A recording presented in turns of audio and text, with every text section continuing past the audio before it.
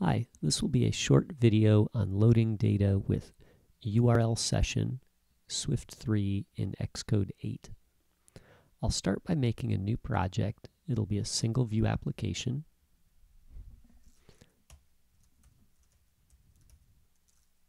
And we'll load JSON, so I'll tack JSON onto the end of the name. Save my project. And what I think I'll do is I'll make a brand new Swift file to handle um, all the, you know, loading and stuff. So it'll just load the JSON in this file, and then we can, you know, get the data out of here. Um, let's call it Movie Manager. And we'll name it Movie Manager like that. And what we're going to do is we're going to load JSON from iTunes. And this URL will give us the top movies, the top 25 movies in the JSON format. So we'll copy the URL. And why don't we make a function in the movie manager called load movies. And then we'll say, uh, how about iTunes this will be our iTunes address. We'll paste it there. And there we go, right? So now we've got a URL that we can call on. Well, actually, we have a, a string, right? So we need to make a URL. So let's say let URL equal a brand new URL. And what we want to do is we want to make a URL from a string. See, there's a lot of constructors here for URL. We want this one. URL from string. And the string we'll use is this iTunes string. Okay, this returns an optional, so we can kind of option click on on the name, the variable there, and it'll show us that this is an optional. It's got the question mark. Um, you can use guard or if let. I'm just going to unwrap it with the exclamation point. Um, and you know we'll, we'll add some error checking and stuff later, but for right now, let's just kind of live dangerously.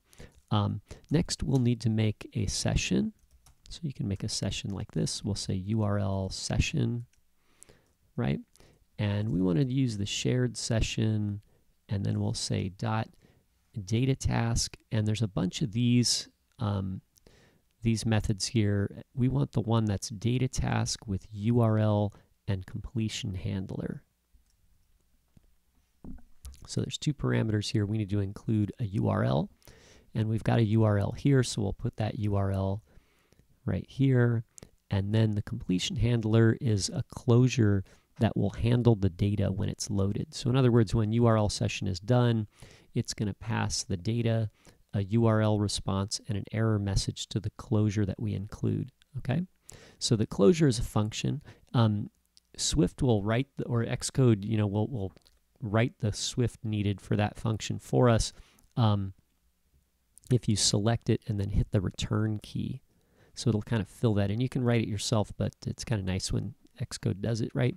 But we need to change these names here to variable names that we want to use. So, um, you know, that's going to be data. It's an optional. Let's just put data there. And then URL response. Why don't we just call that response? And then error, we can just name it error, right? And then now after the in, you know, after the word, the keyword in, our, our code, this, these are the parameters going into our function. And then after in, we're going to use those parameters in the code block here. Okay, so we can put our own code here. Okay, so if this works, you know, our data that we loaded should be in this variable data, right? And what we'll do just for right now, just to get, keep this simple, is we'll print data to the console. So if we see something in the console, we know that it it got loaded here. And you could, you know, print some other stuff there just to let you know that this is working, right? Um, so if we test this now and nothing's going to happen, we have to do two more things. We have to create an instance of Movie Manager and then call load movies on it, okay? And the other thing we need to do is um, the session won't do anything unless we, we tell the session to start. And essentially what we're going to do is right after the code block here for this for the the the, the callback on the session or the, the the closure of the session right here still within the the um, the load movies method. You can see this is the curly brace here that matches this one. We're still inside load movies. Right here we want to say um, session dot resume now, I know that sounds a little weird. You know, resume sounds like you're continuing something that's already started. In reality, the session has never been started. We're just going to start it up right now. So I feel like this might make more sense if it was session dot start, you know, um, or session begin, right? So that's what we're going to do. We got to make a session. This is going to generate a session, and then we're going to start that session up here after we've done it. And then the session's going to take you know, however long it takes the computer to go out on the internet and grab the data and download the data.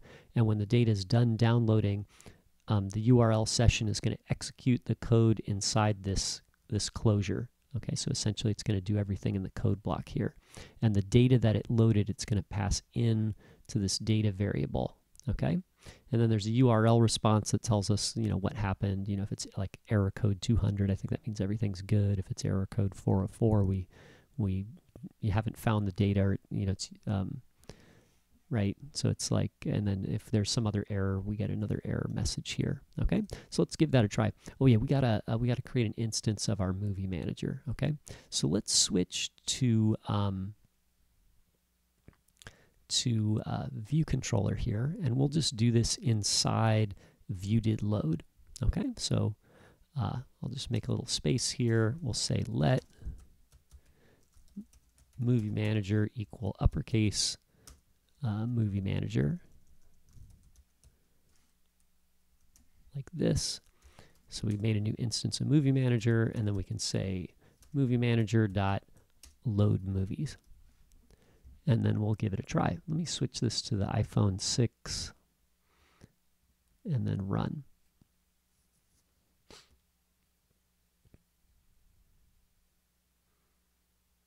Oh, there we go, right? So that looks like it's working pretty good. Um, it doesn't look like much to you, but here's our message, right? Let's go actually look at our movie manager here. Um, there it is, right? And remember, movie manager, when we load the data, it prints this message out and then it prints the data. So essentially here, um, you know, this was our first line and then the data just, it's an optional, you know, and that, that's what this was, remember? And then it says it loaded, you know, 58,921 bytes, you know, but that's just the raw data. So I think it's working, right? So we'll, in the next video, we'll convert this to JSON and um, actually see what the data is, okay? But if you get this far and you get this message, then it should be working. Okay, so thanks for watching. Let me actually point something out. You know, um, this should load um, all the time because it's an HTTPS call, but I noticed on some computers when I did this earlier today, it it should have worked, but it didn't work um, uh, for some reason. Usually these work. If they're HTTP, they don't work. You need to set a setting over here in the info p list um, called allow ar arbitrary downloads. And um, I had to do that earlier, even though that URL was an HTTPS. So you might have that problem, and if that happens, um, go in here and um, add allow what is it? It's like um, it's like application security something or other um, shoot now i can't remember what they call that thing um,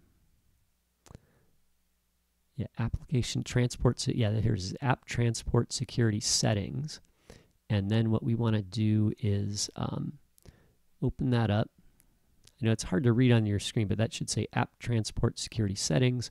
And then you want to click down here and choose Allow Arbitrary Downloads. Okay. And then that would be, um, that would help, right? And I think there's another setting there that you can choose that's allow web something or other, right? So, um, so if it doesn't work, try that and maybe that'll help you out, okay? So anyway, thanks for watching and we'll continue in the next video.